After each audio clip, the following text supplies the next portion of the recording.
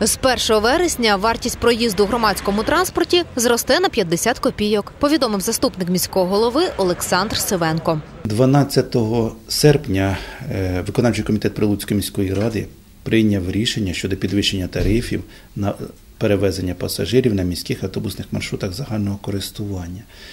А саме новий тариф, який вступить в дію із 1 вересня поточного року, буде становити 2 гривні 50 копійок до 20 години. Тариф після 20-ї години буде становити 3 гривні 50 копійок. Нагадаємо, раніше прилучани у вечірній час доби сплачували на гривню менше. Згідно правил законодавства, які затверджують і регламентують перевезення пасажирів на території на міських автобусних маршрутах, тобто на території міст України, у разі якщо збільшується пальне на 10%, е, міські органи влади мають право переглядати тарифи на перевезення пасажирів. Внесені певні зміни і в тариф на перевезення школярів. Його вартість залишилася на рівні однієї гривні, але відтепер немає обмежень щодо тривалості дії тарифу, розповідає посадовець. Перевезення школярів по тарифу 1 гривня здійснювалося з 1 вересня по 31 червня.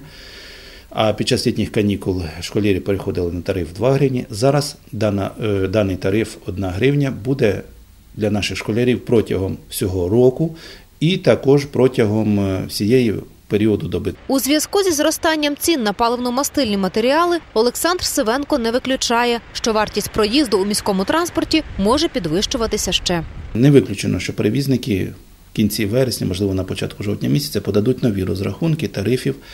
Тобто, якщо вартість пального збільшиться десь приблизно на гривню 40, на гривню 50, будемо чекати нових розрахунків тарифів.